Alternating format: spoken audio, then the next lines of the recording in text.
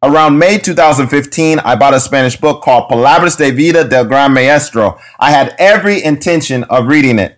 The words were very unfamiliar to me. At that time, I hadn't even finished my Duolingo Spanish course.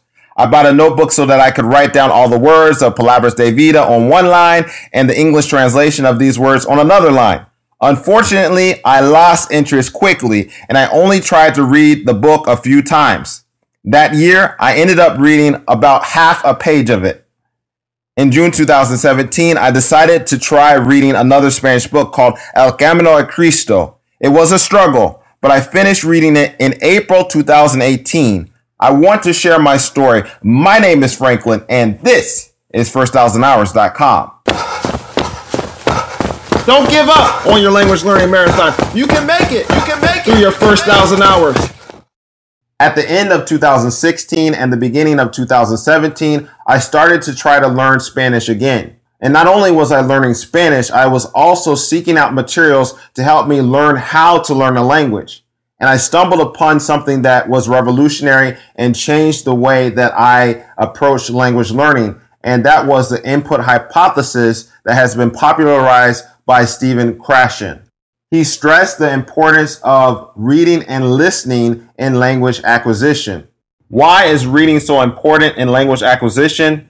James Hamilton, who was born in 1769 and who was a proponent of learning languages through reading, said this The man who has not learned to read knows only the words which he has learned in conversation. His vocabulary is smaller than can well be imagined. Unfortunately, I don't have time to really unpack the input hypothesis or also talk about Zipf's law, which really corroborates what James Hamilton said. But I plan to do so in a future podcast. But Nico Mason, who is also a proponent of reading and listening to learn languages, said this Students can reach the upper intermediate level largely from reading and listening, and can reach the most advanced academic language level only through reading more skill building, more correction, and more output do not consistently result in more proficiency. Rather, reading is the only way we become good readers, develop a good writing style, an adequate vocabulary, advanced grammar, and the only way we become good spellers.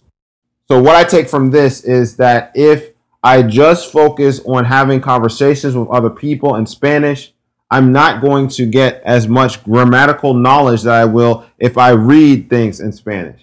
I'm not going to get as much vocabulary as I could get if I read things in Spanish. So to me, reading is the foundation of me understanding Spanish.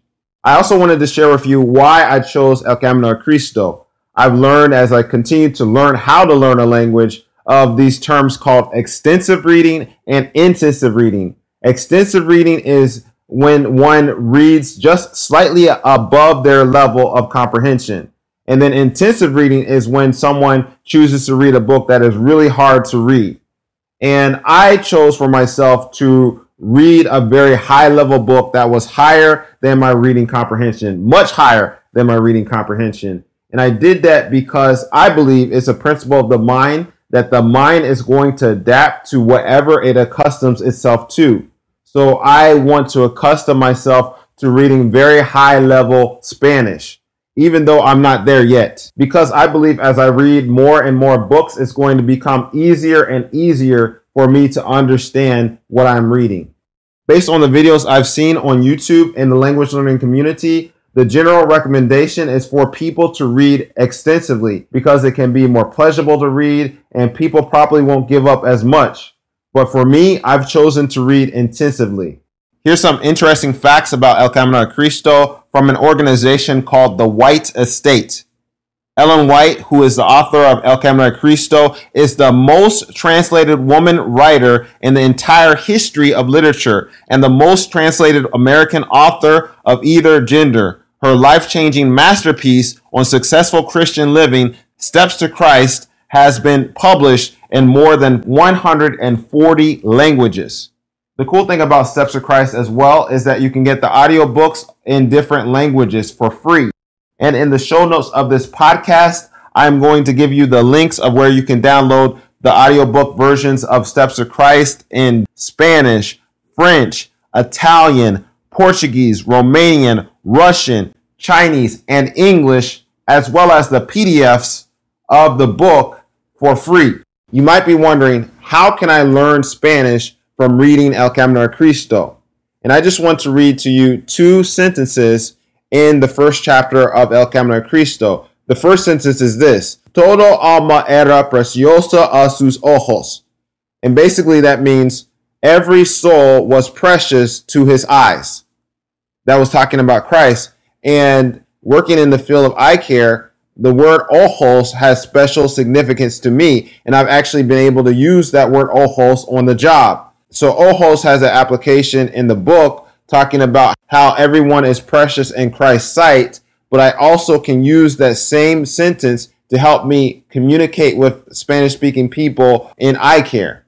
This is the other sentence. Dios es amor está escrito en cada tallo de naciente hierba. So that basically means God is love is written on each stem of the rising grass. So if I need someone to cut the grass, I can say, please cut the yerba. So I'm learning about the love of God, but I'm also learning about um, ways that I can use the word yerba to be able to communicate in other situations, other practical situations in my life. Also, when I read and listened to El Camino Cristo, I experienced the power of combining reading and listening. And I want to play an audio clip from November 6, 2017 about this theme. I just experienced something that was pretty interesting.